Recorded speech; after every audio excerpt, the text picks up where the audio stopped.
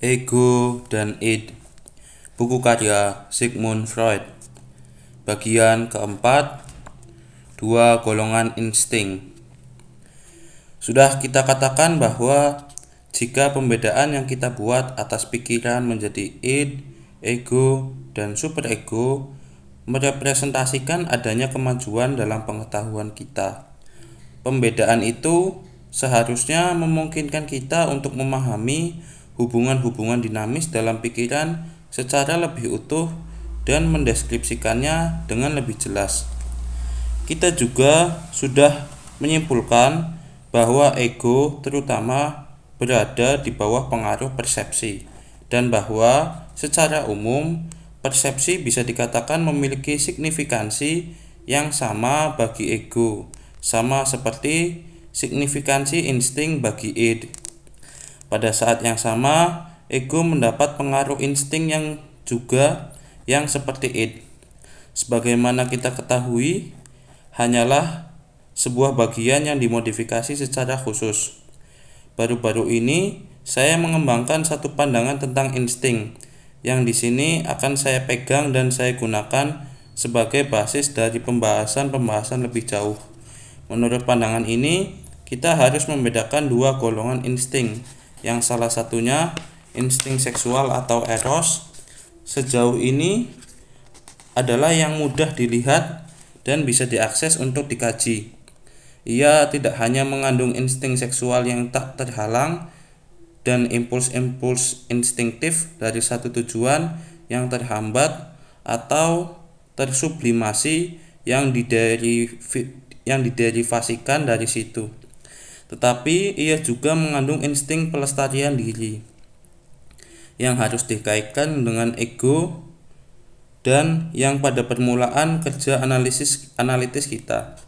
Kita punya alasan bagus untuk mengontraskannya dengan objek insting seksual. Golongan insting yang kedua tidak terlalu mudah untuk ditunjukkan. Pada akhirnya kita menengarai bahwa sadisme adalah representasinya. Berdasarkan pertimbangan-pertimbangan teoretis didukung oleh biologi, kita mengemukakan hipotesis tentang insting kematian yang tugasnya adalah membawa kehidupan organik kembali ke keadaan tidak hidup. Di sisi lain, kita mengandaikan bahwa eros dengan memunculkan kombinasi yang semakin luas jangkauannya di mana zat-zat kehidupan disebar dengan tujuan membuat kehidupan menjadi lebih kompleks dan pada saat yang sama tentu saja melestarikannya. Dengan cara demikian, kedua golongan insting itu akan bersifat konservatif dalam pengertiannya yang paling ketat. Karena keduanya akan berupaya menegakkan lagi keadaan segala sesuatu yang terusik oleh kemunculan kehidupan. Kemunculan kehidupan dengan demikian menjadi sebab berkelanjutannya kehidupan dan juga pada saat yang sama berusaha keras mencapai kematian. Dan kehidupan itu sendiri akan menjadi konflik dan kompromi antara kedua kecenderungan ini. Persoalan asal mula kehidupan akan tetap menjadi persoalan kosmologis dan persoalan tujuan dan maksud kehidupan akan dijawab secara dualistis. Berkenaan dengan pandangan ini, satu proses fisiologis khusus akan dikaitkan dengan masing-masing dari dua golongan insting tersebut. Kedua golongan insting itu akan aktif dalam setiap partikel substansi yang hidup. Walaupun dalam proporsi yang tidak sama, sehingga salah satu substansi bisa menjadi representasi eros yang utama. Hipotesis ini tidak memberikan penjelasan apa pun tentang cara dalam mana dua golongan insting itu menyatu, bersampur, dan saling melebur tetapi bahwa hal itu berlangsung secara teratur dan sangat ekstensif adalah satu asumsi yang sangat diperlukan untuk konsepsi kita. Tampaknya sebagai akibat dari kombinasi organisme-organisme uniseluler menjadi bentuk-bentuk kehidupan yang multiseluler. Insting kematian sel tunggal bisa dinetralisasi dengan sukses dan impuls-impuls destruktif bisa dialihkan ke dunia luar melalui perantaraan satu organ khusus. Organ khusus ini tampaknya adalah organ otot. Dan insting kematian dengan demikian akan tampak mengungkapkan diri walaupun mungkin hanya sebagian sebagai sebuah insting destruksi yang diarahkan ke dunia luar dan organisme-organisme lain. Begitu kita sudah menerima gagasan tentang fusi satu sama lain, kedua golongan insting itu kemungkinan sebuah defusi yang kurang lebihnya lengkap, insting-insting itu memaksakan dirinya pada kita. Komponen sadistis insting seksual adalah contoh klasik sebuah fusi instinktif yang berhasil dan sadisme yang menjadikan dirinya independen sebagai sebuah penyimpangan adalah tipikal sebuah defusi. Walaupun bukan yang dibawa sampai ke titik ekstrim, kita memahami bahwa untuk keperluan pelepasan biasanya insting destruksi digunakan untuk melayani eros. Kita menduga bahwa serangan ayan adalah produk dan indikasi sebuah defusi instinktif. Dan kita memahami bahwa defusi instinktif dan kemunculan mencolok menghadapi pertimbangan tertentu di antara efek-efek beberapa neurosis parah, misalnya neurosis obsesif membuat sebuah generalisasi cepat. Kita bisa menebak bahwa esensi sebuah regresi libido, misalnya dari fase genital ke fase sadistis anal, terletak pada satu defusi insting-insting, persis seperti dengan cara sebaliknya kemudian dari fase sebelumnya ke fase genital definitif akan dikondisikan oleh pemerolehan komponen-komponen erotis. Muncul juga pertanyaan mengenai apakah ambivalensi biasa yang sering kali luar biasa kuat dalam kecenderungan inheren pada neurosis tidak boleh dipandang sebagai produk dari sebuah defusi. Meskipun demikian, ambivalensi adalah satu fenomena yang sedemikian mendasar sehingga lebih mungkin ia merepresentasikan satu fusi instingtif yang belum selesai. Sudah sewajarnya kita berpaling sepenuh minat untuk menyelidiki apakah memang tidak ada koneksi-koneksi instruktif instruktif yang perlu dirunut antara struktur yang kita asumsikan ada ego, superego, dan id. Di satu pihak dan kedua golongan insting itu di lain pihak dan lebih jauh, apakah prinsip kesenangan yang mendominasi proses mental dapat ditunjukkan memiliki hubungan konstan baik dengan kedua golongan insting maupun dengan pembedaan-pembedaan tersebut yang kita kembangkan dalam pikiran. Tetapi sebelum kita membahas ini, kita harus menyingkirkan keraguan yang timbul berkenaan dengan istilah-istilah di mana problem itu dinyatakan. Benar, memang tidak ada keraguan tentang prinsip kesenangan dan pembedaan dalam ego memiliki justifikasi klinis yang kuat. Tetapi pembedaan antara dua golongan insting tampaknya tidak cukup meyakinkan dan mungkin saja fakta-fakta analisis klinis yang akan menghilangkan pretensinya bisa ditemukan. Salah satu fakta semacam itu tampaknya memang ada. Untuk pertentangan antara kedua golongan insting itu kita bisa mengajukan polaritas cinta dan benci. Tidak ada kesulitan untuk menemukan representasi eros. Tetapi sungguh melegakan bahwa kita menemukan satu representasi insting kematian yang sulit dimengerti itu dalam insting destruksi. Yang jalan ke situ ditunjukkan oleh kebencian saat ini pengamatan klinis tidak hanya menunjukkan bahwa dengan keteraturan yang tak disangka cinta ada ditemani oleh kebencian ambivalensi. Kebencian dan bahwa bukan saja dalam hubungan manusia sering kali kebencian adalah awal dari cinta. Tetapi juga bahwa dalam sejumlah keadaan benci berubah menjadi cinta dan cinta menjadi benci.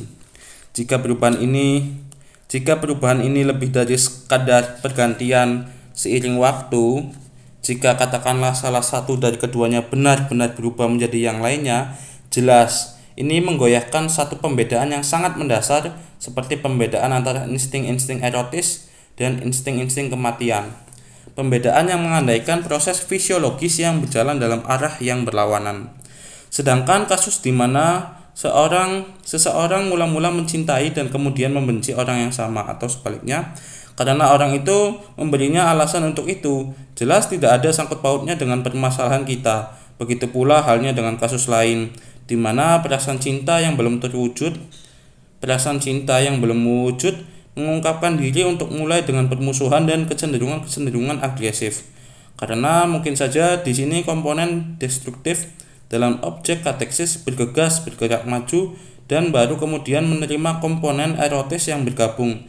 Tetapi kita tahu ada beberapa kejadian dalam psikologi neurosis di mana lebih masuk akal untuk menganggap bahwa sebuah transformasi memang terjadi. Dalam delusi penganiayaan, pasien menghalau keterikatan homoseksual yang terlalu kuat pada orang tertentu dengan cara khusus dan akibatnya orang yang paling dia cintai itu menjadi penganiaya yang menjadi sasaran agresivitas pasien yang sering kali berbahaya. Di sini kita berhak menyisipkan satu fase sebelumnya yang sudah mengubah cinta menjadi benci, menyangkut kasus asal mula homoseksualitas dan juga deseksualisasi perasaan sosial. Penyelidikan analitis baru belakangan ini saja mengajari kita untuk mengakui bahwa ada perasaan-perasaan keras, persaingan yang mengundang kecondongan-kecondongan agresif, dan bahwa baru setelah perasaan-perasaan tersebut bisa diatasi, objek-objek yang tadinya dibenci menjadi objek yang dicintai atau menimbulkan sebuah identifikasi. Timbul pertanyaan, apakah dalam kejadian-kejadian tersebut kita mengasumsikan adanya satu transformasi langsung dari benci menjadi cinta? Jelas, bahwa di sini perubahan itu murni bersifat internal dan satu perubahan dalam perilaku objek tidak memainkan peran di dalamnya. Meskipun demikian, ada kemungkinan mekanisme lain yang kita ketahui dari penyelidikan analitis atas proses terkait perubahan dalam paranoia. Satu sikap ambivalen sudah hadir sejak awal dan transformasi dilakukan melalui satu peralihan reaktif kateksis. Energi diambil dari impuls erotis dan ditambahkan pada impuls yang bermusuhan tidak persis sama, tetapi sesuatu yang menyerupai itu terjadi ketika persaingan bermusuhan yang berujung pada homoseksualitas sudah diatasi. Sikap bermusuhan itu tidak punya prospek kepuasan. Akibatnya karena alasan-alasan ekonomis tepatnya ia digantikan oleh sikap mencintai yang memiliki lebih banyak prospek kepuasan dengan kata lain kemungkinan pelepasan. Oleh karena itulah kita melihat bahwa dalam semua kasus tersebut kita tidak diwajibkan mengasumsikan sebuah transformasi langsung dari benci menjadi cinta yang tidak akan cocok dengan pembedaan kualitatif antara kedua golongan insting. Meskipun demikian akan tampak bahwa dengan mengemukakan mekanisme lain perubahan cinta menjadi benci ini diam-diam kita membuat asumsi lain yang layak dinyatakan secara eksplisit.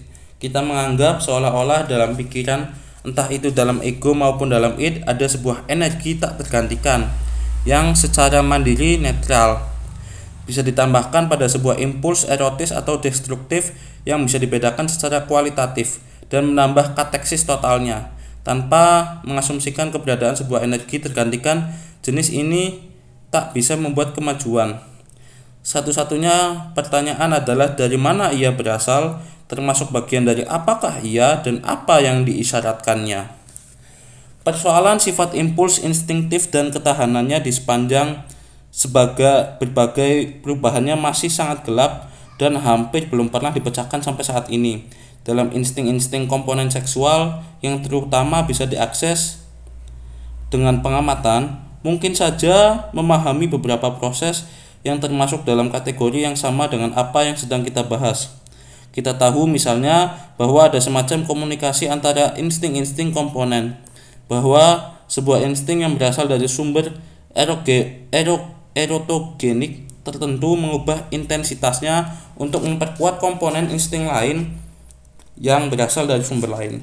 Bahwa kepuasan satu insting bisa menggantikan kepuasan insting lainnya dan lebih banyak fakta tentang sifat yang sama yang pasti mendorong kita untuk menjajaki hipotesis tertentu. Lagi pula, dalam pembahasan ini saya hanya mengajukan sebuah hipotesis. Saya tidak menawarkan bukti apa pun. Tampaknya bisa dikatakan sebagai pandangan yang masuk akal bahwa energi netral dan tak tergantikan ini yang tentunya aktif dalam ego maupun dalam id. Bermula dari cadangan narsistik libido bahwa itulah eros yang terdeseksualisasi. Dalam kurung insting-insting erotis tampaknya benar-benar lebih plastis lebih mudah dialihkan dan digantikan daripada insting-insting destruktif tutup kurung. Dari sini dengan mudah kita bisa terus mengasumsikan bahwa libido yang bisa digantikan ini digunakan untuk melayani prinsip kesenangan dalam menghindari berbagai hambatan dan memudahkan pelepasan.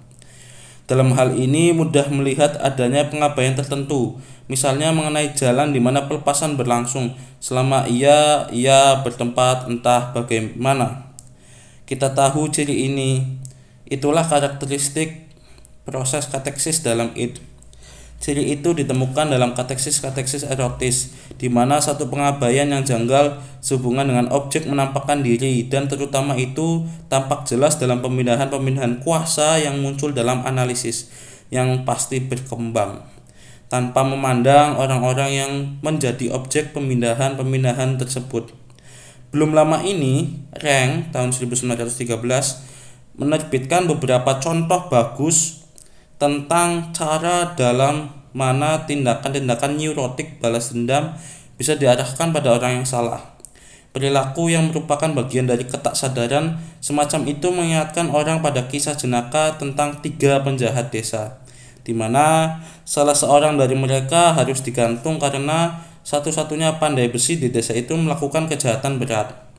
Hukuman harus dilaksanakan, meskipun bukan pada orang yang bersalah pada saat mempelajari kerja mimpi, kita pertama kali menjumpai jenis kelonggaran ini dalam penggantian-penggantian yang disebabkan oleh proses primer. Dalam kasus tersebut, objek-objek itulah yang posisinya diturunkan menjadi tidak lebih dari kedudukan penting sekunder. Persis sama dalam kasus yang sedang kita bahas itulah jalan-jalan pelepasannya. Karena itulah karakteristik ego akan menjadi lebih spesifik baik menyangkut pilihan atas sebuah ego maupun jalan pelepasan. Jika energi yang bisa diganti ini adalah libido yang terdeseksualisasi, hal itu bisa juga dideskripsikan sebagai energi yang tersublimasi, karena hal itu akan tetap mempertahankan tujuan utama eros, yaitu menyatukan dan mengikat. Sejauh hal itu membantu ke arah pembangunan persatuan atau kecenderungan untuk bersatu, yang terutama menjadi karakteristik ego. Jika proses berpikir dalam pengertian yang lebih luas harus disertakan di antara pergantian-pergantian itu, maka aktivitas berpikir juga disuplai dari sublimasi kekuatan-kekuatan motif erotis. Di sini kita sampai lagi pada kemungkinan yang telah dibahas, halaman 25, bahwa sublimasi bisa berlangsung secara reguler melalui mediasi ego. Kasus lainnya akan diingat kembali di mana ego berurusan dengan objek kateksis pertama id dalam kurung dan tentunya juga dengan objek kateksis yang belakangan tutup kurung. Dengan mengambil alih libido dan mengikatnya pada perubahan ego yang dihasilkan melalui identifikasi. Transformasi dalam kurung libido erotis menjadi ego libido tentu saja melibatkan pembiaran tujuan seksual, sebuah deseksualisasi. Yang jelas, hal itu menerangkan fungsi penting ego sehubungan dengan eros maka dengan mendapatkan libido dari objek kateksis, menetapkan diri sebagai satu-satunya objek cinta yang mendeseksualisasi atau menyublimasi libido ego. Maaf, dan mendeseksu, mendeseksualisasi atau menyublimasi libido id. Ego bergerak melawan eros dan menempatkan diri untuk melayani impuls instinktif yang berlawanan. Ia harus menyesuaikan dengan beberapa objek kateksis lain dari id ia harus bisa dibilang berpartisipasi di objek-objek kateksis tersebut. Kita akan segera kembali nanti pada kemungkinan lain konsekuensi aktivitas ego ini. Hal ini tampaknya menyiratkan satu amplifikasi penting dari teori narsisme. Pada awalnya sekali semua libido diakumulasikan dalam id, sementara ego masih dalam proses atau masih lemah id mengirimkan bagian-bagian dari libido ini ke objek kateksis erotis, di mana ego kini pertama kuat berusaha menguasai objek libido. Ini akan memaksakan dirinya atas id sebagai cinta objek. Narsisme ego dengan demikian merupakan ego sekunder yang ditarik dari objek-objek.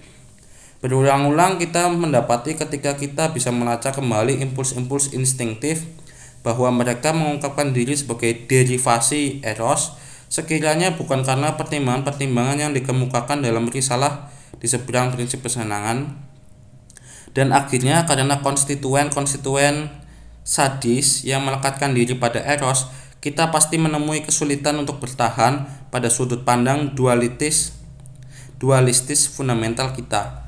Tetapi karena kita tidak bisa meloloskan diri dari pandangan itu kita didorong untuk menyimpulkan bahwa insting kematian bersifat bisu dan bahwa gegap gempita kehidupan untuk sebagian besarnya bermula dari Eros.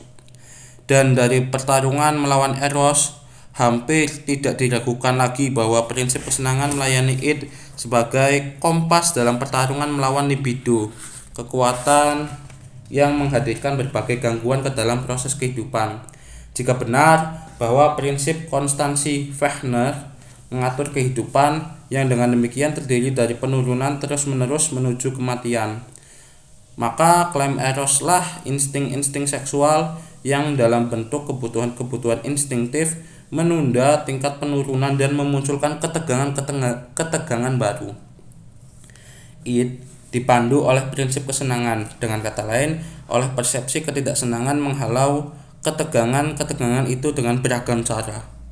Hal itu terjadi mula-mula dengan selekas mungkin memenuhi tuntutan-tuntutan libido yang tidak terdeseksualisasi dengan berusaha mencapai kepuasan kecenderungan-kecenderungan seksual secara langsung. Tetapi itu berlangsung dalam cara yang jauh lebih komprehensif sehubungan dengan satu bentuk kepuasan tertentu di mana semua tuntutan komponen bertemu dengan melepas substansi-substansi seksual yang merupakan kendaraan-kendaraan yang penuh sesak bisa dibilang oleh ketegangan-ketegangan erotis. Pelontaran substansi-substansi seksual dalam tindakan seksual bisa dikatakan terkait dengan pemisahan soma dan plasma nuftah ini menjelaskan berbagai kemiripan kondisi sesudah kepuasan seksual paripurna dengan kondisi sekarat dan menjelaskan fakta mengapa kematian terjadi bersamaan dengan tindakan sanggama pada beberapa hewan golongan rendah. Makhluk-makhluk itu mati dalam tindakan reproduksi karena setelah eros dilenyapkan melalui proses pemuasan. Insting kematian leluasa mewujudkan tujuannya. Akhirnya, sebagaimana yang sudah kita ketahui, ego dengan menyublimasi sebagian libido untuk dirinya sendiri dan tujuan-tujuannya membantu id dalam pekerjaannya menguasai beberapa ketegangan.